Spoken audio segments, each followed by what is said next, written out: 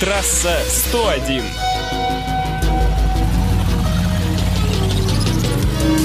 Приветствую, в эфире трасса 101. Владимир Сметанин не нарушает. Почти. Число автоаварий из-за некачественных колесных дисков в прошлом году в России выросло в два раза.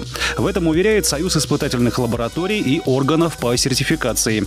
По словам представителей организации, плохие диски завозятся из Китая.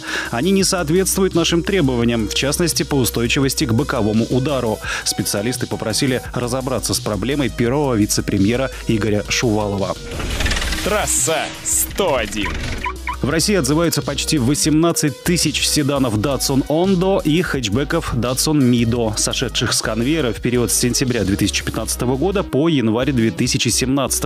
Обнаруженная неисправность довольно серьезная. Часть топливной трубки в моторном отсеке может повредиться тросом сцепления. Это чревато утечкой бензина и возгоранием. Владельцам авто рекомендуется обратиться к дилерам для проведения бесплатного ремонта. Трасса 101. Нефть дешевеет, оптовые цены на бензин стабильны, а в рознице горючее, да, дорожает.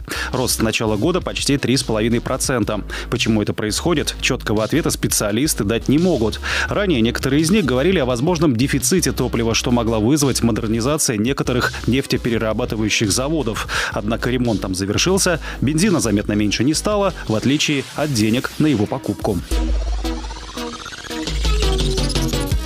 Федеральная антимонопольная служба предложила при определении размера выплаты по ОСАГО учитывать экономические особенности региона. Сейчас стоимость запчастей и норма часа работ исчисляется везде одинаково на основании справочников Российского союза автостраховщиков.